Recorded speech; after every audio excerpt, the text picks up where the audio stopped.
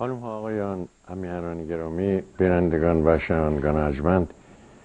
به همه شما درود میفرستم. من حسین فرجی هستم و برنامه ایران آزاد رو حضورتون پیشکش می‌کنم. قرار هست که انتخابات جمهوری اسلامی برای ریاست جمهوری در 24 خرداد ماه یعنی حدود دو سه هفته دیگه در ایران برگزار بشه در این انتخابات رئیس روزخانها در یک شرایط عجیبی قرار گرفته. از طرفی سقوط پول ملی به طوری که شما برای خرید کوچکترین مایحتاج زندگی با رقم های شست هزار هفتاد هزار هشتاد هزار تومان دیگه رقم های خیلی معمولی است. روبرو هستیم.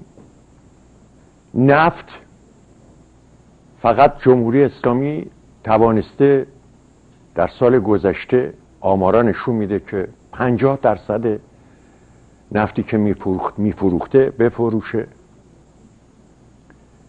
بسیار از کسانی که نفت رو خریداری می‌کنن قادر نیستن از طریق بانک ها پول این نفت رو پرداخت بکنن. در نتیجه جمهوری اسلامی با بحران مالی رو بروست به طوری که حتی مایحتاج مردم رو نمی‌تونه تهیه کنه و در اختیار اونا قرار بده. وضع دارو بیمارستان ها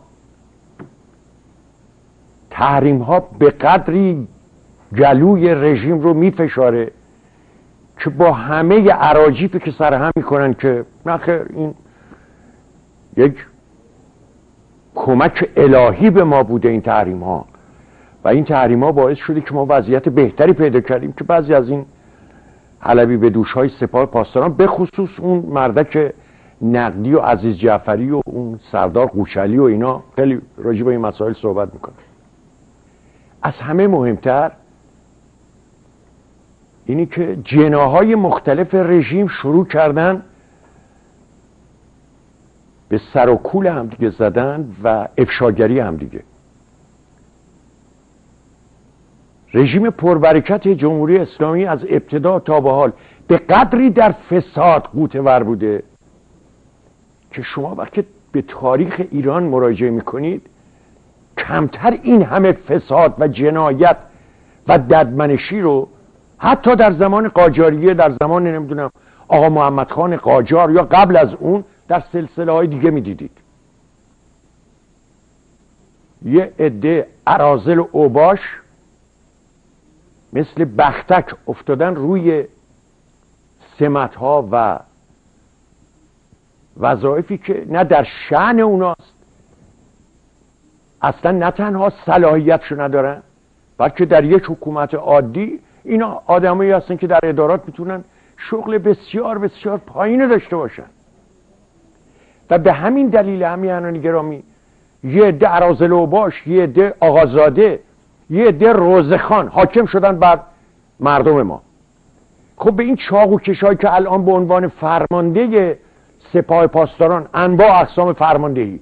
فرمانده نمی‌دونم لشکر امام علی فرمانده لشکر امام زین العابدین بیمار فرمانده. حالا و این روزخان هایی که هر کدوم به سمت امام جمعه و نمی‌دونم معمور امور سیاسی و نمی‌دونم از عقیدتی سیاسی عقیدتی و از اینا دکان که باز کردن برای اینا.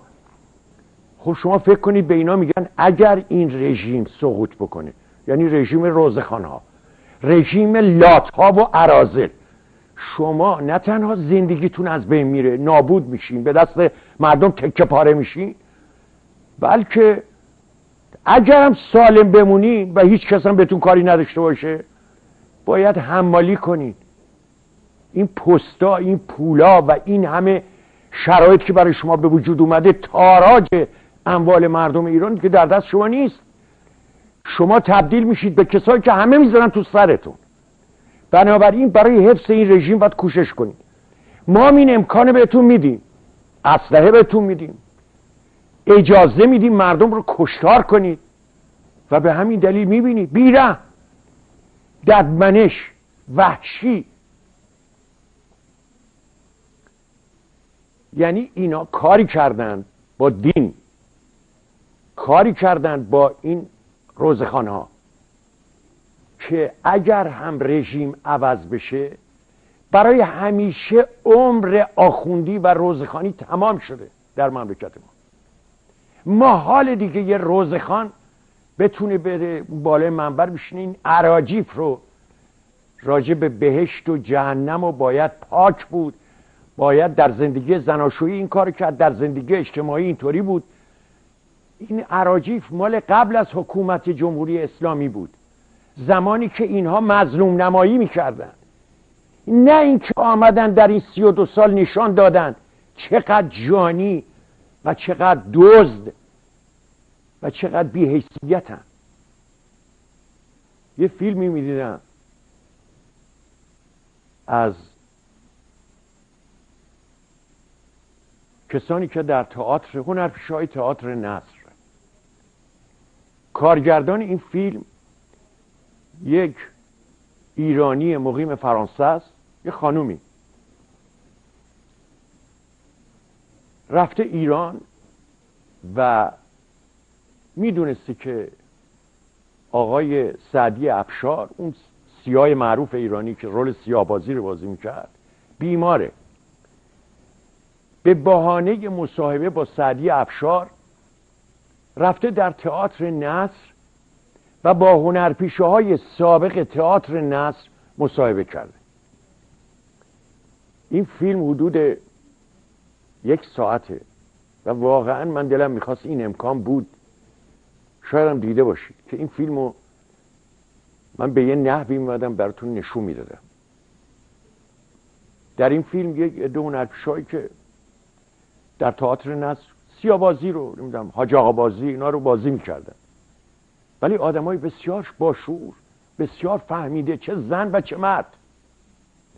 در برابر دوربین و میکروفون نشستن و راجع به تئاتر در ایران صحبت می‌کنن.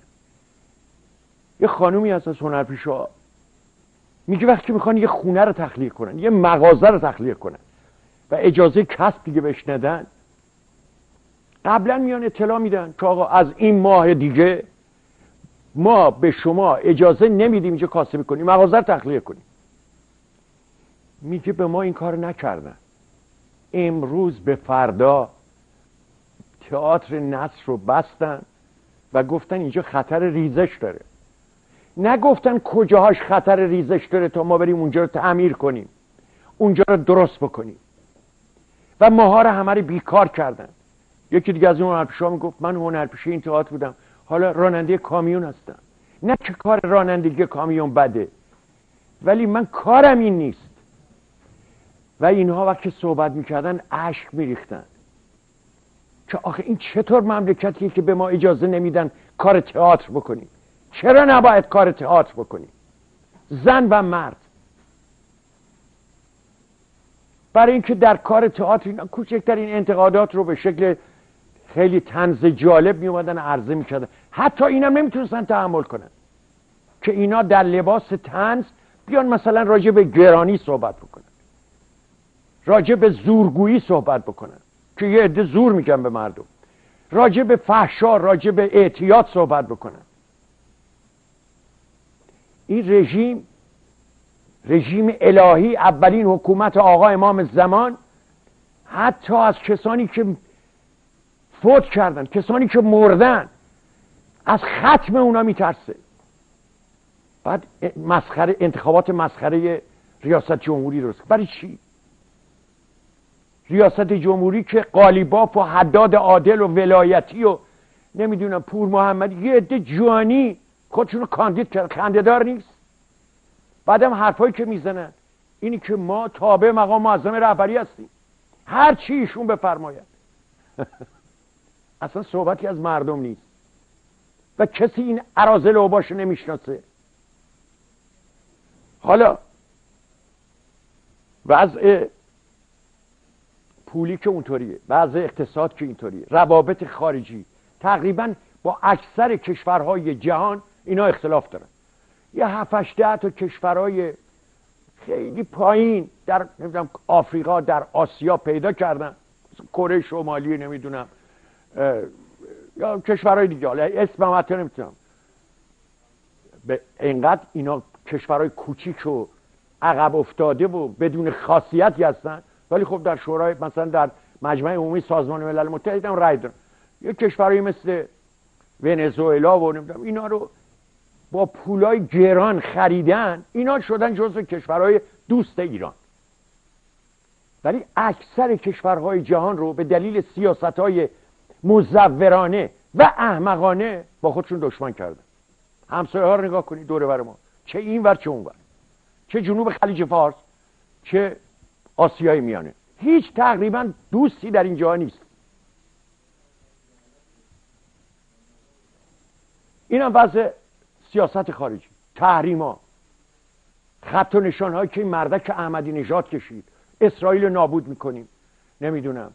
بعد این, این بیانی که صادر میشه این تحریما کاغذ پاره است. اینا رو دیگه من نمیگم. این رفسنجانی جانی هم میگه. میگه اصلا لزومی داشت ما این حرفا رو بزنی هی بگیم اینا کاغذ پاره بود.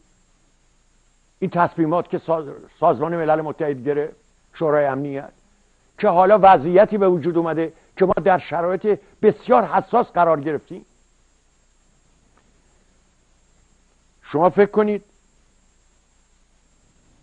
یه طرف که این مقام معظم روزخان بزرگ نمی‌خواد این اصلاحچیا رو بیاره چون اونا یه خود وچهشون از اینا بهتره دیگه از این جانی های این وری یه دم هستن که طرفدارای احمدی نژادن و دوروری های احمدی نژادن که شنیدید که احمدی نژاد در آخرین صحبتاش گفته گفته من سندی دارم. نواری دارم که در این نوار ثابت می‌کنه در انتخابات سال 80 احمدی نژاد اینو میگه تقلب شده. آرای من بوده 16 میلیون. اینا به من گفتن رأی شما 16 میلیونه آرای شما. ولی ما می‌خوایم اعلام کنیم 27 میلیون. من گفتم چرا؟ نه همون اعلام کنیم گفتن نه ما می‌خوایم این کار بکنیم که به دور دوم نرسه. شما یه زد بری بالا. احمدی نژاد میگه من با اینا اصرار کردم که نکنید این کارو. حالا راست و دروغش پای خودشون دیگه چون همشون دروغ میگن. و اینا قبول نکردن. و گفته من این سند رو رو می‌کنم. یعنی این می‌دونی چی؟ همون حرفی که رئیس روزخان ها گفته امروز. گفته به شورای نگ... دیروز گفته. به شورای نگهبان شک داری. یه عده انسانهای شریف و بدون نظر بیطرف.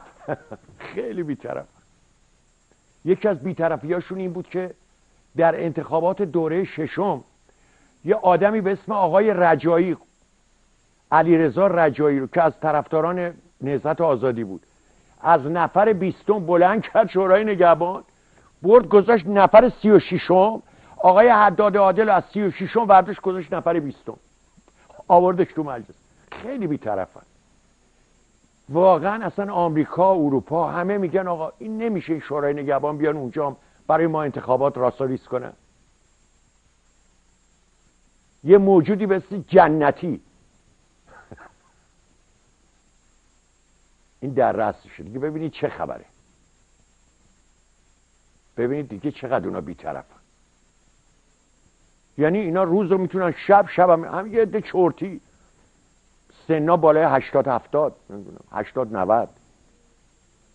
اینا سرنوشت مردم ایران تا اون تازه اون کسی که بانی و مؤسس این شورای نگهبان بود تخم لقش و کاش آقای منتظری میگه ما قصدمون این نبود که شورای نگهبان این فضولی ها رو بکنه.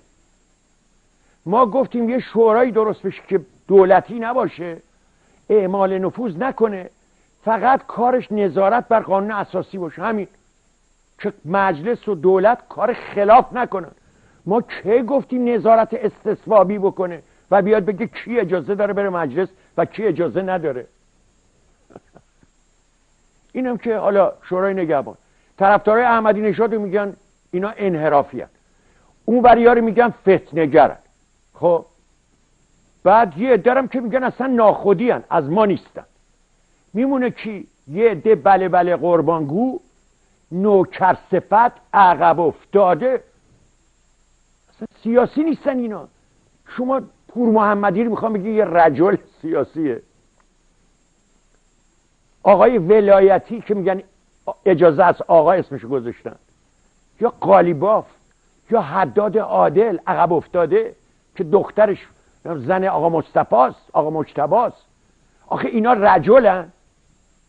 یا اون مرده که علی سردار علی لاریجانی. نگاه کنید اینا در عرض این سی و دو سال نتونستن چهار تا آدم درست کنن. چهار تا آدم سیاسی. یه عده عقب افتاده هی حرکت می‌کنه همه دوباره میان دور هم دیگه. این میره اون یکی رو میارن. تازه اونا رو هم انداختن کنار.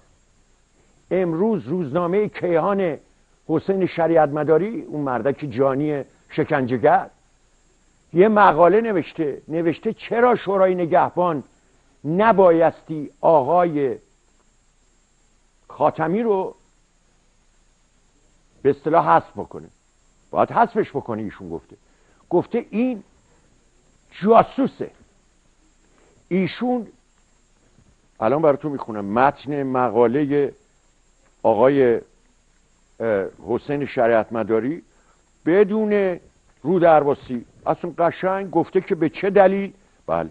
گفته خاتمی مفسد فل عرضه یعنی حکم قتلش واجبه. ستون پنجم دشمنه. یعنی جاسوسه. وی نباید انتظار داشته باشد در کلیدی ترین مسئولیت نظام مثل ریاست جمهوری به کار گرفته شود. مملکت رو می‌بینید؟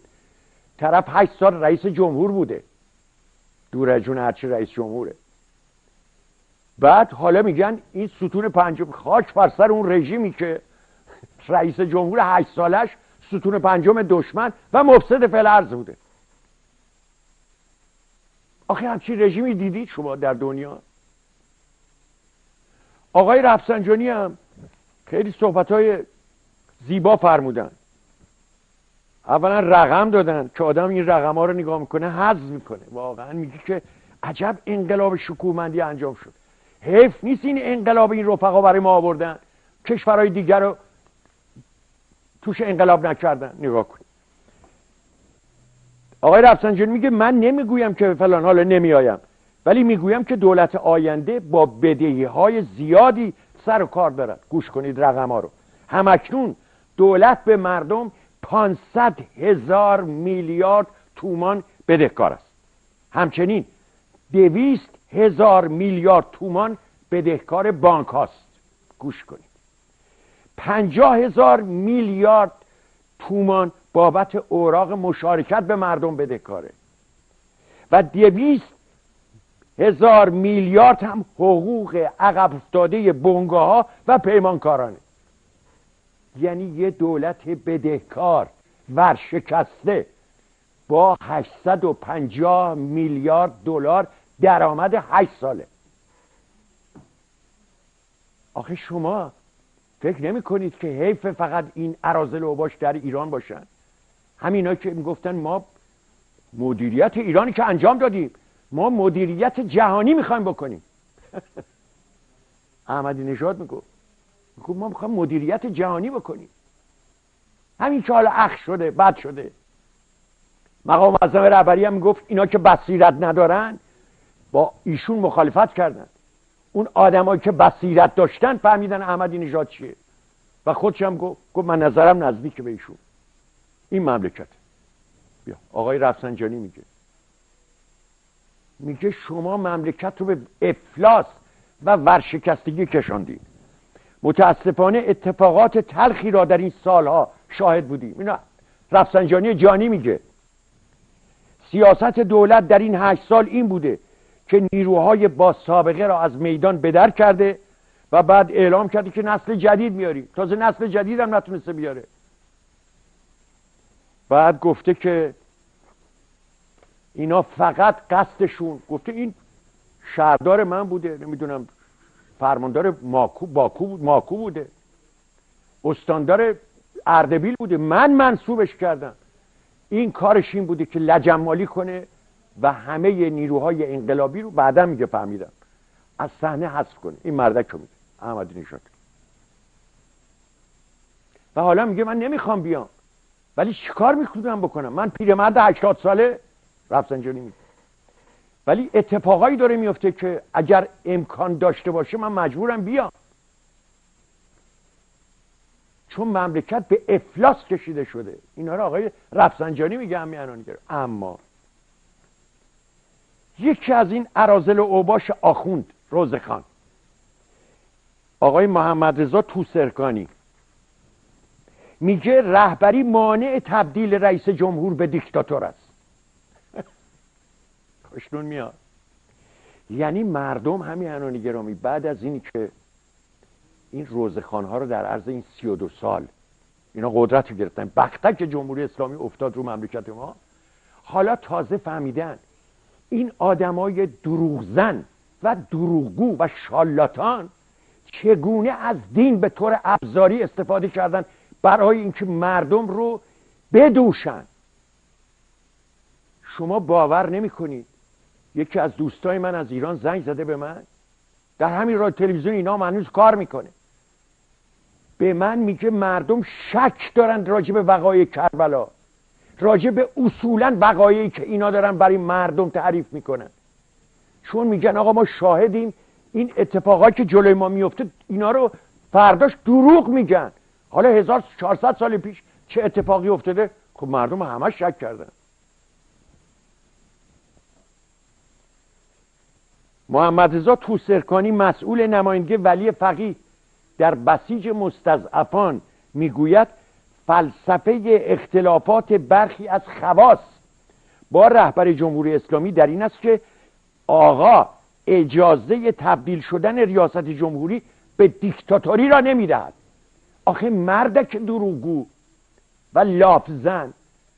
خود اون مردکی که اون بالاست اجازه نمیده به اونا دیکتاتور بشن چون میگه من یه دیکتاتور کافیه.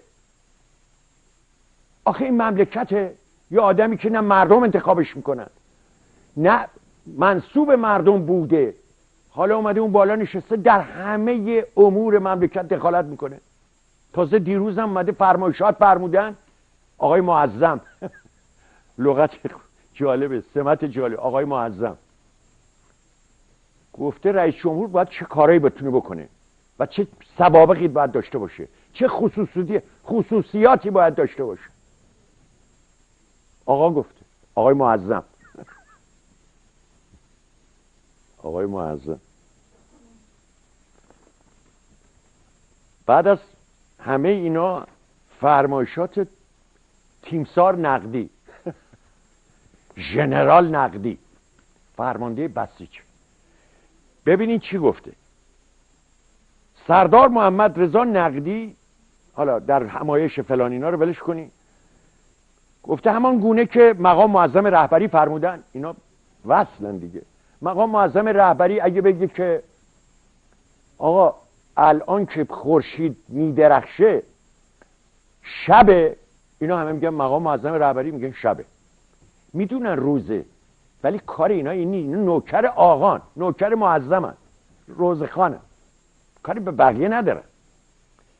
بعد گفته که حالا فرمایشات دیگه فرمودن. گوش کنید ببینید میزان شعور مردکی که میلیاردها ثروت مردم زیر دستشه. میلیون ها نفر رو بسیج کرده برای اختناق. یعنی حدود یک میلیون 600 700 هزار نفر زیر دست ایشونن چماق به دست برای اینکه مردم سرکوب کنند ببینید چی گفته. رئیس سازمان بسیج مستضعفین می‌گوید آیا غیر از این است که مبارزه ما با دشمنان در اوج قرار دارد؟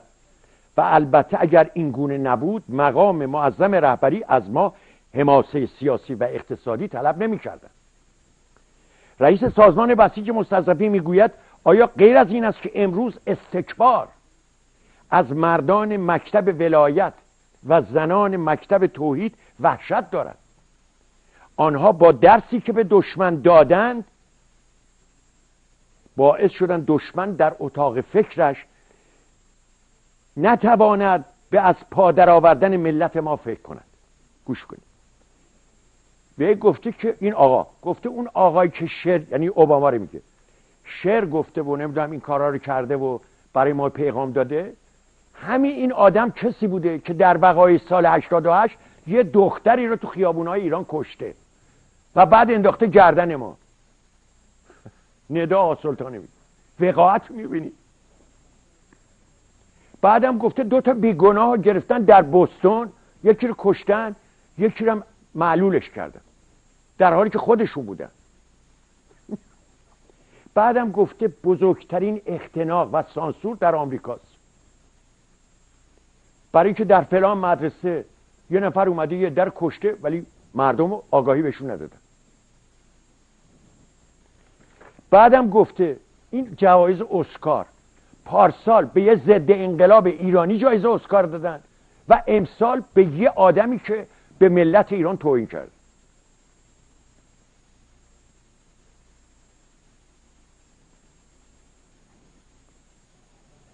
نقدی ادامه داد آمریکا در زمینه مواد مخدر نیست. هر کاری که از دستش برمیآید انجام داده است تا بتواند با گسترش اعتیاد در ایران در بین جوانان به اهدافش برسد.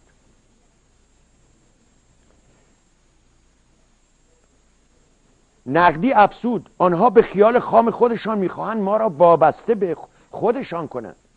به ما می‌گویند در قبال نفت نفت حاضریم فقط به شما غذا بدهیم و می‌خواهند ما را در کشاورزی و صنایع غذایی به خودشان وابسته کنند. اما کشور ما یک کشور پربرکتی است البته برای آخوندا و روزخانه و همین ارازل و باش که ما می‌توانیم ما می‌توانیم علاوه بر تأمین غذای همه مردم ایران برای یک جمعیت صد میلیونی دیگر هم غذا تهیه کنیم.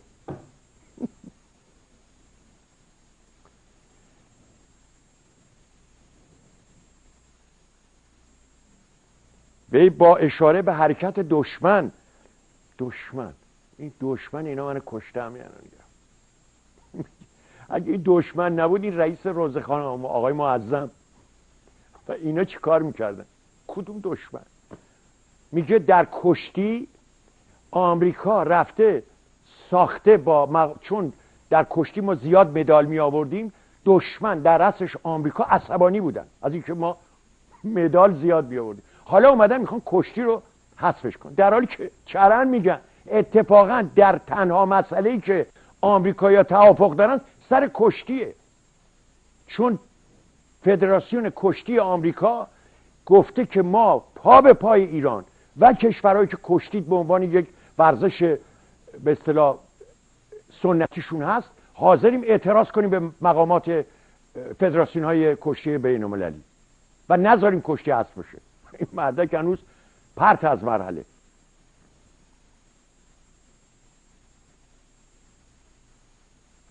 رئیس سازمان بسیج مستضعفین با اشاره به سانسور شدید اطلاعاتی در رسانه های آمریکایی خاطر نشان کرد. یک کارخانه کود شیمیایی در آمریکا نابود می شود و تعداد زیادی انسان از بین می روند اما خبری از این حادثه شما در روزنامه های آمریکایی نمی بینید شما که اینجا دیدین که یه ماشین تو خیابون تصادف می‌کنه 50 تا دوربین میره فیلم می‌گیره. کارخانه کود شیمیایی خب فیلم می‌گیره دیدین که فیلمش هم گرفتن همه جا پخش کردن. حالا من که مدافع آمریکا نیستم ولی این جالبه که سردار نقدی جوانی معروف که چادر شب میندازه روی شونش دیدین که این دوره از آمریکا ایراد می‌گیره. یعنی اینجا اختناقه و اون بهشتی که اینا در ایران با وجود آوردن آدم حض می‌کنه واقعا. گفته اینا خیال کردن ما رو می‌تونن مثل مصر رئیس جمهور دیکتاتور برای ما بذارن. خبر ندارم ما رهبر داریم.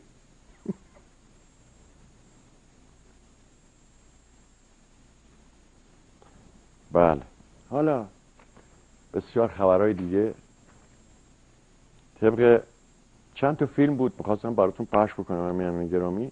فقط اجازه بدید قبل از اینکه با دکتر دانش صحبت بکنم یه فیلمی از افغانستان براتون پخش بکنم که دنباله بحث من با دکتر دانش هم همین خواهد بود.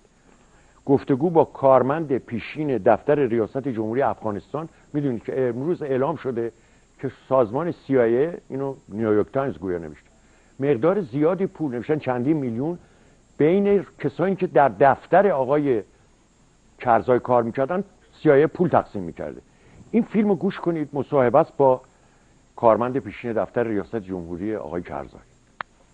دو مورد از ما نادرست نقل شده. اول موقف ما رئیس معاون دفتر رئیس جمهور رئیس ذکر شده و همچنان تنها از من نقل نکردن بلکه از دستیاران فیلی و سابقا نقل کردن که گویا سیایی برای دفتر جمهور یک مقدار پول می‌داده تا که ما ارتباط داره و من در وقت در دفتر ریاست جمهوری کار می‌کردم گفته می شد که ایالات متحده امریکا یک مقدار پول برای مصارف خانه رئیس جمهور و بادیگاردا و مصارف محافظتی و اینا میتن که نه مقدارش در وقت نه افرادش و نه اشخاص تحویل گرنده و تحویل دهنده برای ما معلوم نبودند.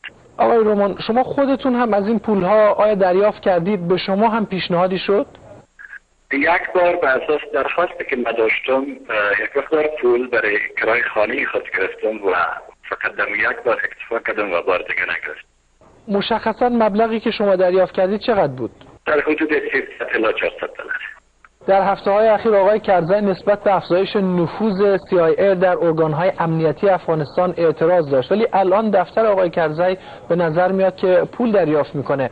اینها چطور کنار هم قرار می‌گیره؟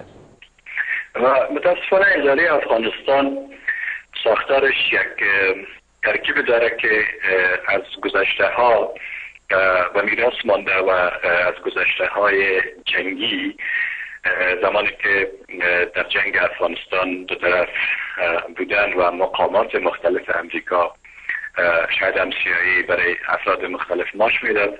همین اشخاص نفوذ کردن در ادارات افغانستان. نه ها در اداره که شما نام بردین در ادارات مختلف کسایی بودن که از جانب سفارت های مختلف تا, اداره معقد ماش می‌گرفتن و چندین بار این شکایت ها را به وقت زمانش در کابینه انجام داده بود. CIA به افراد مختلفی ظاهرا در دفتر آقای کرزی و همینطور در ارگانهای امنیتی افغانستان پول می‌داده. چرا مستقیما با خود آقای کرزی وارد معامله نشدن؟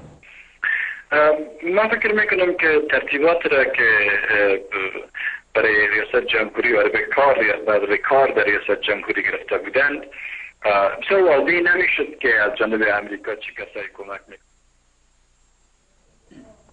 خب امین گرامی فقط خواستم قسمتی از این مصاحبه که امروز بی بی سی با همین آقای محترمی که در دفتر آقای کرزای صحبت کرده بود براتون نشون بدم.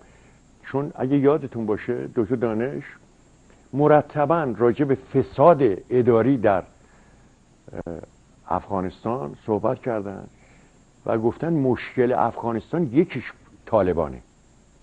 مسئله بعدیش مسئله عمدهش فساد حاکم بر هیئت حاکمه افغانستان.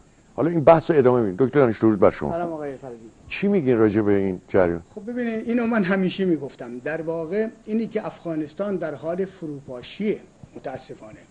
و دوباره طالبان چنین قدرتی رو گرفتن برای اینکه در واقع سیستمی ساخته شده که این سیستم نوریانه این سیستم خورده.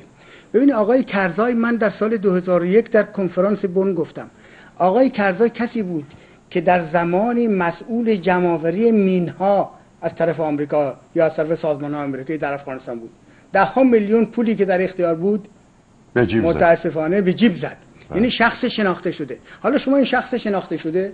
اینو میارین در واقع رئیس جمهور می‌کنین و تمام وزراش که در کنفرانس بن شرکت کرده بودند من تک تک اینا رو میشناختم که در همون کنفرانس برد اعتراض کردم در مقابل تمام رهبران غرب که شما توجه بکنید به تصویر وزرایی که پشت سر آقای کرزایی ایستادن و من حاضرم تک تک بگم کجا اینها در واقع مزارع خشخاش دارن.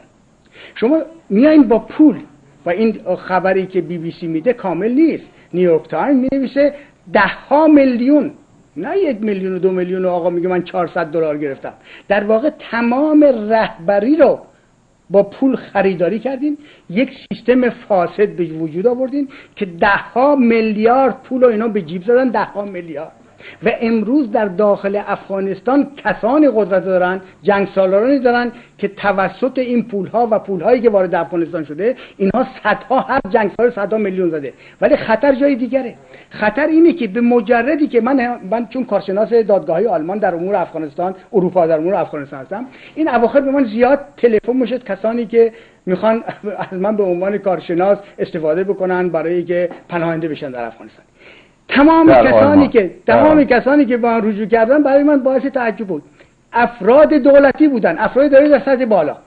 یعنی دارن در واقع فرار می‌کنن. دارن فرار می‌کنن. یعنی شما موقعی که نیروهای خارجی از افغانستان خارج بشه تمام اینایی که امروز این دستگاه حاکمیت رو به وجود آوردن به قدری پول زدن که اینو خالی می‌کنن میرن. یعنی مثل کارت خانه خانه کارتی این در واقع فروکی عینا الان در مورد خودمون هم هست. این وکلای ایرانی که وقت بله، بله. ندارن سرشون رو بخارونن این 500 هزار دلاری که قرار شد بدن بیان گرین کارت بگیرن الان شما یک دونه وکیل ایرانی پیدا نمی‌کنید که فرصت داشته باشه با شما صحبت بکنه. متاسفانه این سیاست این سیاست یعنی فسادی که با رشوه به وجود میاد.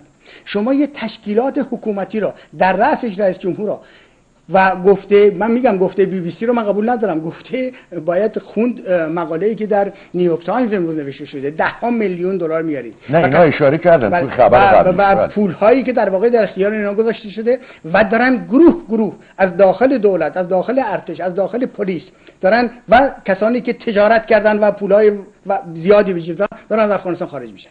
یعنی تمام اون رهبری که شما رهبری سیاسی که به وجود آوردین بعد از خروج نیروهای خارجی یعنی 2014 دیگه همه برنامه این خطر خیلی زیاده این خطر خیلی زیاده. ولی متاسفانه این سیاست فقط در افغانستان نیست آقای فرجی.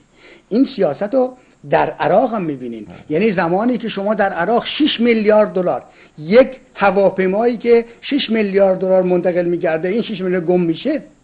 از آمریکا میره برای پول نقد. و این 6 میلیارد دلار گم میشه بزرگترین سرقت تاریخ آمریکا. و پول ها معلوم نیست در عراق کجا میمونه. شما موقعی که میایم با پول در واقع نیروها رو می‌خرین در مقابله با دشمنان باید به این مطلب توجه بکنین. این جامعه این جوامع جامعه قبیله ای هستن. قبایل و شیوخ این پول گرفتن. به مجردی که شما این پول رو قطع بکنین و دیگه ندین و سلاح ها رو ندین اینها جبهه رو عوض می‌کنن. همونطوری که امروز در عراق می‌بینین در واقع این سوه این نیروی سنی که به وجود آمد توسط آقای پتروس جناب پتروس با پول عظیمی که بهشون دادن 60 هزار نفر میلیشیای آقای پتروس بودن که برای القاعده مبارزه بکنن. متاسفانه اینها امروز با نبودن دیگه نیروهای آمریکا و پول نرسیدن جبهه رو عوض کردن جنگ داخلی رو در می‌گیره. امروز عراق در آستانه جنگ داخلیه. الان امروز دوباره 18 نفر از سه امروز 40 نفر کشته شدن. در این هفته گذشته تا به حال 500 نفر کشته شدن. از یک طرف آقای الملکی که حمله می‌کنه کشتار می‌کنه. از یک طرف در واقع نیروهای سنی حمله می‌کنن. القاعده سود کرده. ولی جالبتر از اینه که در همین امروز من یک مطلبی میخوندم از اتحادیه عرب. اتحادیه عرب امروز بیانیه منتشر کرده.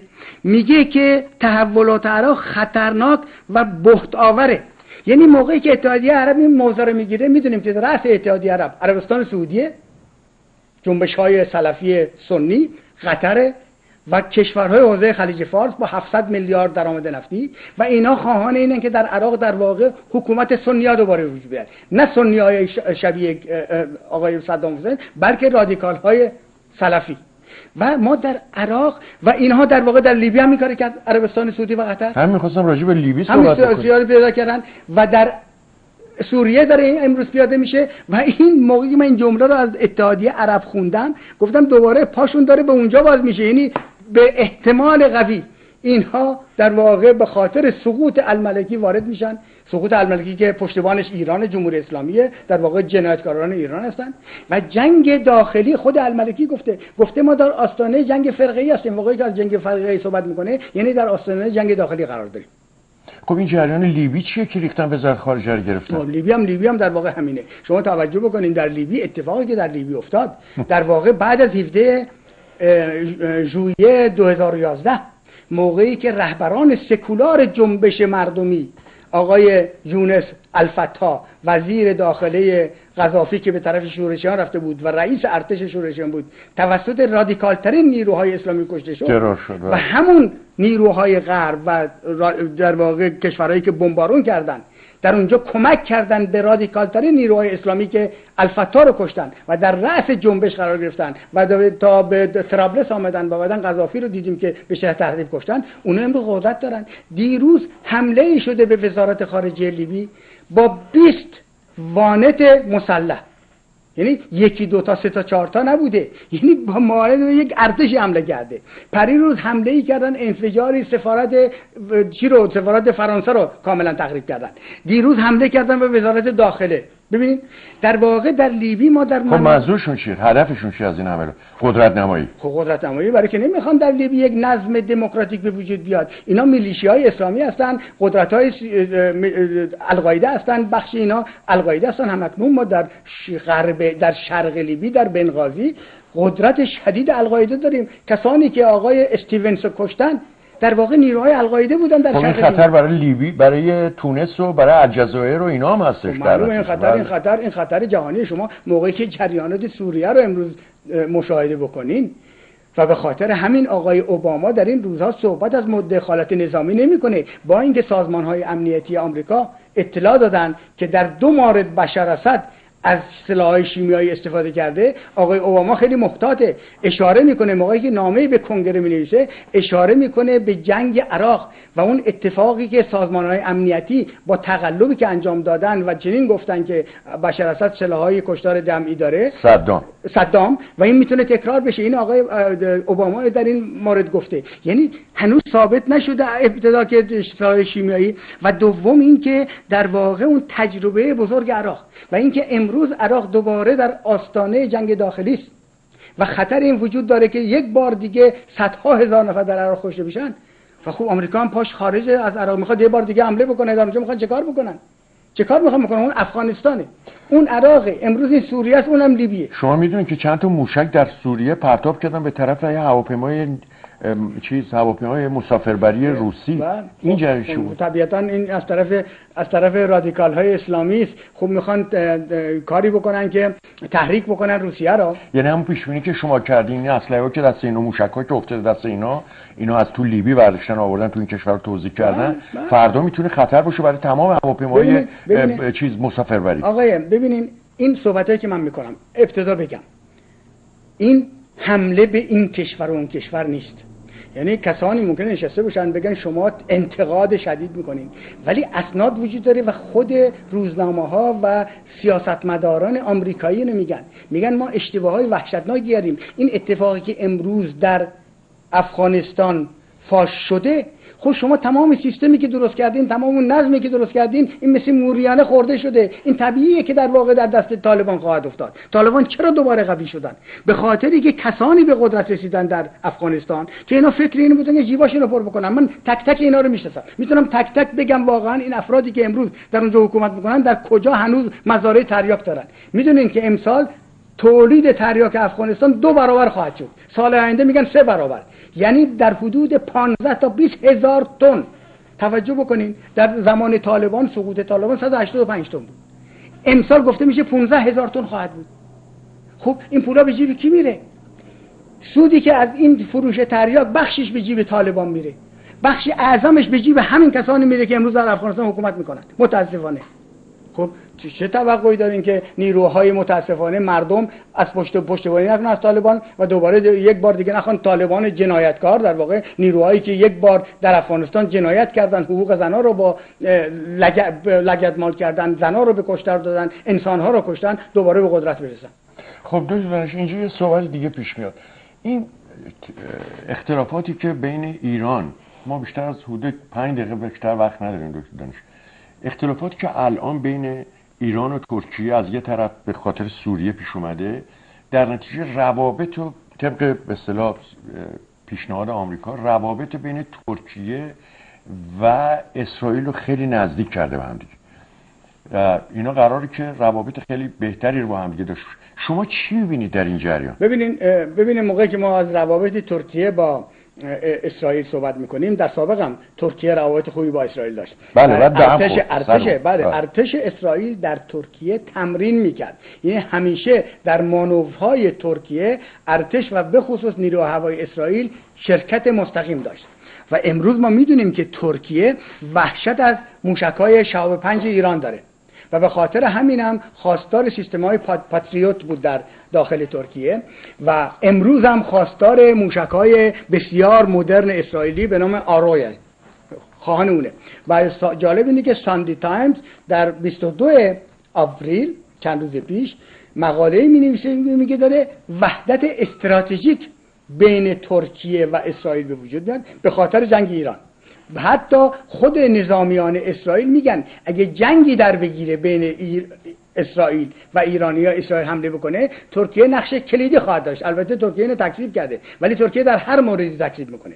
ترکیه امروز ما می‌دونیم که در کنار کشورهایی قرار گرفته که در واقع اینها به کمک سلفی ها میرن. یعنی ما موقعی که از بشر اسد صحبت می‌کنیم. یک جانی که باعث کشته شدن 70 تا 80 هزار نفر مردم شده که من امیدی اصلا به این ندارم که ایشون بتونه حکومتش ادامه بده برای که در حال فروپاشیه. ولی باید از طرف دیگر هم تماشا بکنیم مشاهده بکنیم که در واقع امروز نیروهای رادیکال اسلامی و سلفیان که در اینجا دارن مبارزه می‌کنن به چنین خطری رو برای دنیا به وجود میارن. موقعی که ما سلاحهای مدرن می‌کنیم و موشکهای مدرن باید بگیم که به کمک CIA از کره آسی 3500 تن مدرنترین سلاح خریده شده با پول عربستان سعودی. اینا تمام مطبوعات غرب می نویسن اشمیگل می نویسه فرانکفورت آلگماینه میریسه و مطبوعات اروپایی می نویسن این صحبت های من نیست. و اینا بخش عظیمش به گفته وزیر امور خارجه فرانسه فابیوس به دست نیروهای رادیکال افتاده. ببینید تا جایی که اگه وقت داشته باشیم یک دقیقه من بیشتر وقت نمی‌گیرم. تا جایی که وزیر امور خارجه آلمان وستروله دیروز چنین میگه. یعنی وسترولهی که طرفدار نیروهای اپوزیسیون بود وزیر خارجه آلمان. و می‌گفت باید به اونا کمک کرد و کمک نظامی کرد. آقای وستروله روز یک شنبه چنین میگه؟ باید مراقب باشیم که از یک جنگ داخلی در سوریه آتش فراگیری شعله نکشد که زبانه های آن به ترکیه عراق، اردن و لبنان در اطراف سوریه سرایت کند و خطر جدی برای کشور متحدمان اسرائیل به وجود آورد. وستروله همزمان میگه با مسلح کردن نیروهای اپوزیسیون سوریه مخالف است. یعنی آلمان مخالفه. به گفته او آلمان از مخالفان دموکرات پشتیبانی می‌کنه. ولی تروریست ها و تندروها دشمنان ما هستن که در سوریه هستن. خب. این صحبت های وستروله یعنی دیگه. صحبت از سقوط حتی بشر اسد هم نمی‌کنه.